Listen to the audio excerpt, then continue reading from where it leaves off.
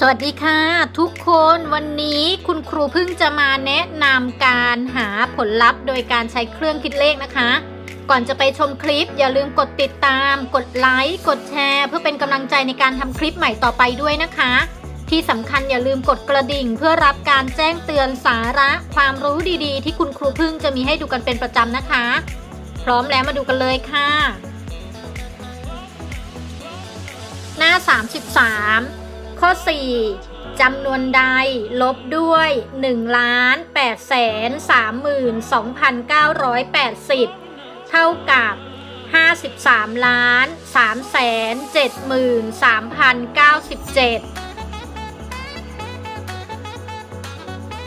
จากความสัมพันธ์ระหว่าง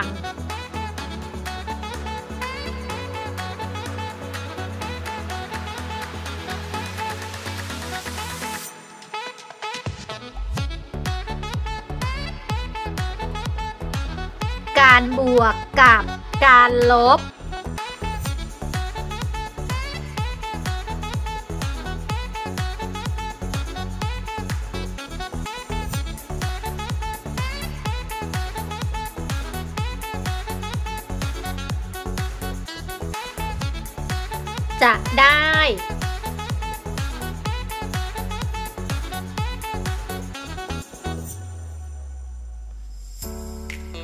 สี่เหลี่ยมเท่ากับ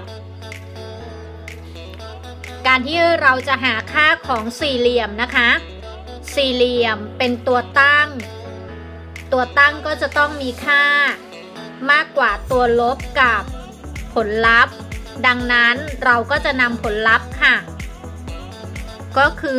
53 ล้าน3แสน73,097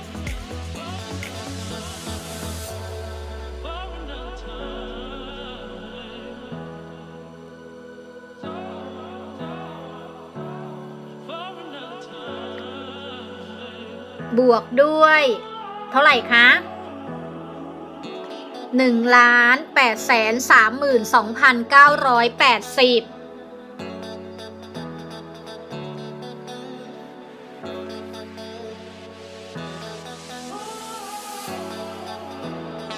เราจะใช้เครื่องคิดเลขในการหาคำตอบนะคะ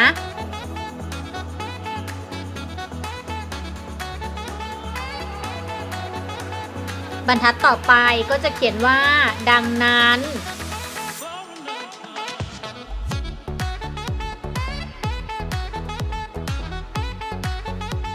สี่เหลี่ยม แทน ใช้เครื่องคิดเลขกดเลยนะคะ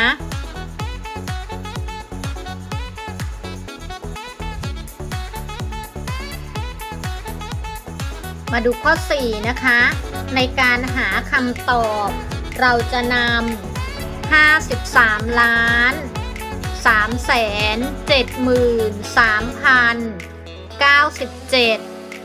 73,097 บวกด้วย1ล้าน8แสน32,980 จะได้คำตอบก็คือ 55 ล้าน2แสน6,077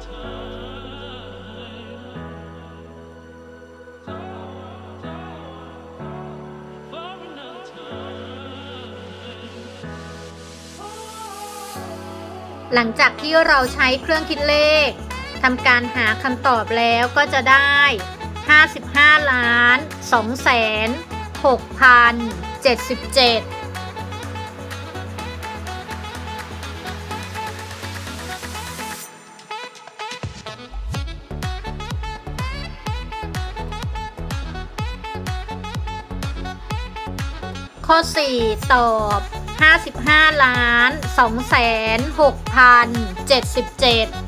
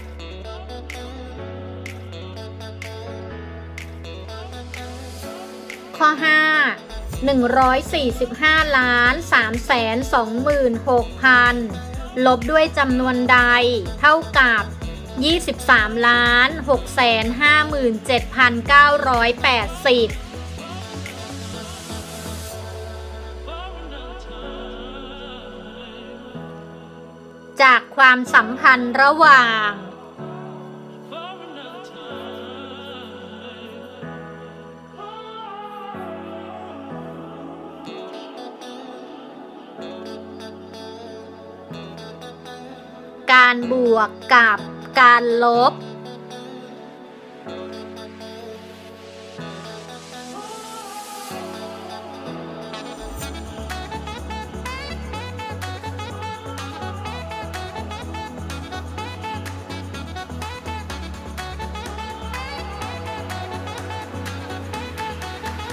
จะได้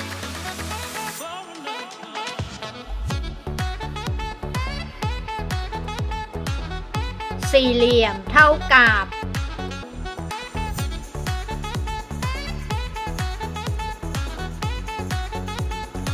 ถ้าเราต้องการหาค่าของสี่เหลี่ยมในโจทย์สี่เหลี่ยมเป็นตัวลบ ต้องการหาตัวลบเราต้องนำตัวตั้งลบด้วยผลลัพธ์นะคะ ก็จะได้ว่า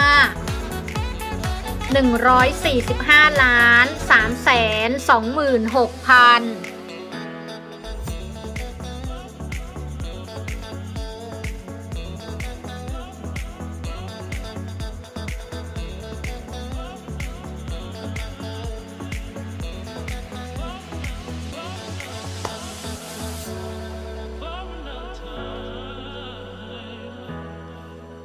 ลบด้วยเท่าไหร่คะ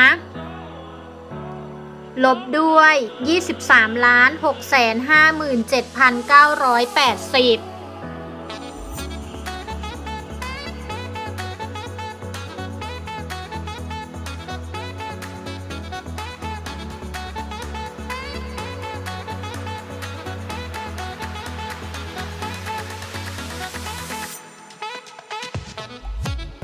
ดังนั้น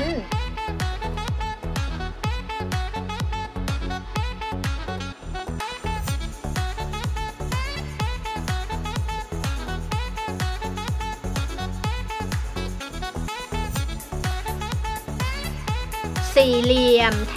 น เราจะใช้เครื่องคิดเลขในการหาคำตอบนะคะ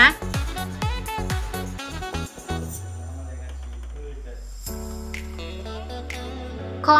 5 ในการหาคำตอบเราจะนำ145 ล้าน3แสน26,000 ลบด้วย 23ล้าน6แสน57,980 ก็จะได้คำตอบคือ 121ล้าน6แสน68,020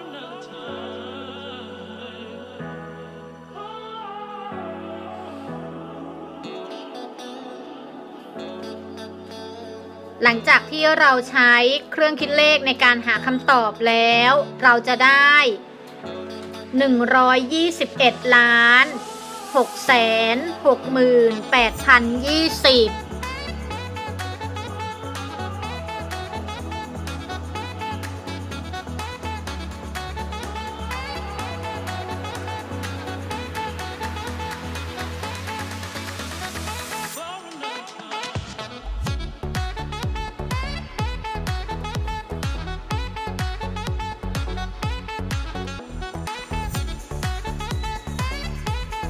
ข้อ 5 ตอบ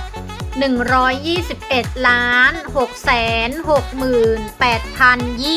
68,020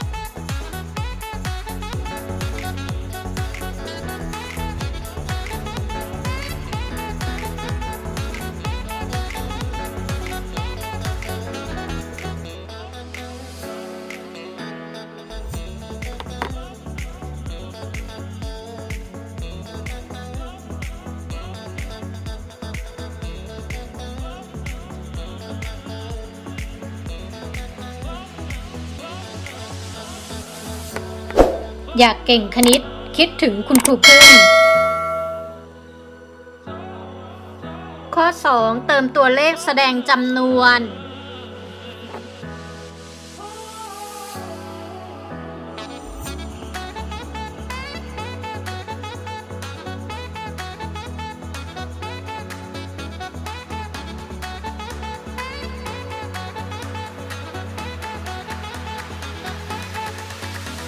ข้อ 1 934,560 ลบด้วยจำนวนใดเท่ากับ 543,750 เราจะทำการหาตัวลบนะคะ เราก็จะนำตัวตั้ง ก็คือ 934,560 ลบด้วย 543,750 โดยการกดเครื่องคิดเลขนะคะ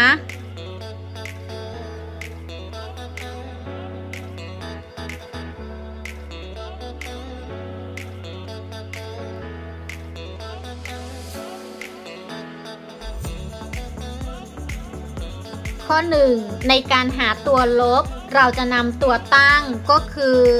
934,560 เป็นตัวตั้ง แล้วลบด้วยผลลัพธ์ก็คือลบด้วย 543,750 เราก็จะได้ตัวลบก็คือ 39810 เป็นคำตอบในข้อที่ 1 หลังจากที่เรากดเครื่องคิดเลขแล้ว ก็จะได้คำตอบก็คือ 3,9810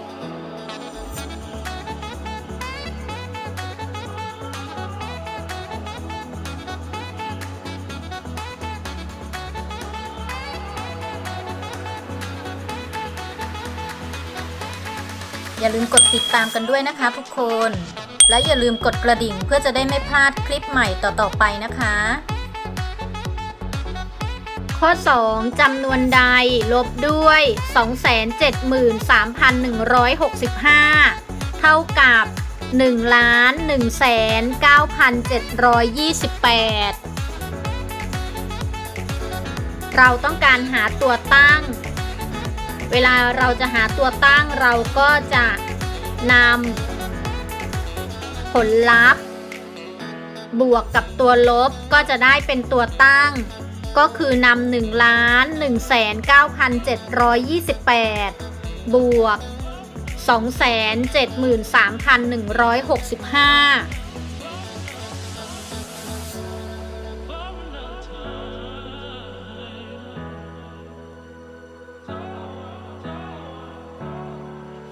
ข้อ 2 ในการหาตัวตั้ง เราจะนำผลลัพธ์ก็คือ 1 ล้าน1แสน9,728 บวกด้วยตัวลบก็คือ2แสน73,165 เราก็จะได้ตัวตั้งก็คือ1ล้าน3แสน82,893 เป็นคำตอบสำหรับข้อ 2 ค่ะ หลังจากกดเครื่องคิดเลขแล้ว เราก็จะได้คำตอบคือ1ล้าน3แสน82,893เป็น